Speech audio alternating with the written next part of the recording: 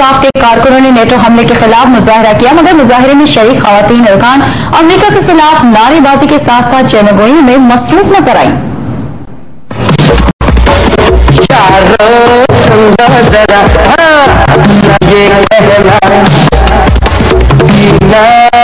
तो ही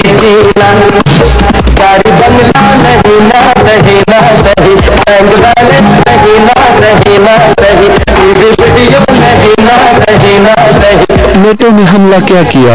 इमरान खान की तहरीक इंसाफ ने तो मुखालफत पर कमर ही कस ली और कारकुनान पहुँच गए नारेबाजी का शौक पूरा करने के लिए। कहीं और नहीं, सीधे नेशनल प्रेस क्लब। आखिर मुजाहरे को रजिस्टर भी तो कराना था, लेकिन मौका तो मैसर आ गया। मगर क्या किया जाए? ये हम नाजुक, मिजाज लोगों के बस का रोग भी तो नहीं।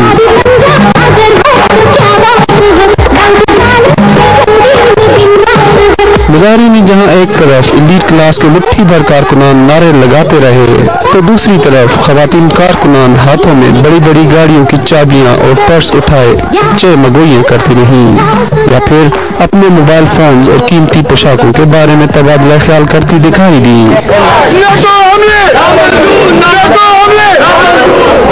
लीजिए जनाब, यह मुजाहरे का एक और मुनफरद अंदाज। मुजाहरा करें और किसी को पता भी ना हो कुछ भी कर लो, हम तो सबको बताएँगे, आखिर इतना महँगा मोबाइल फ़ोन और किस काम के लिए लिया है? अरे अरे, इतना भारी झंडा। खान साहब, ये तहरीक तो इंसाफ के लिए है। इतना वजनी झंडा, ये तो सरासर नाइंसाफी है कैप्टन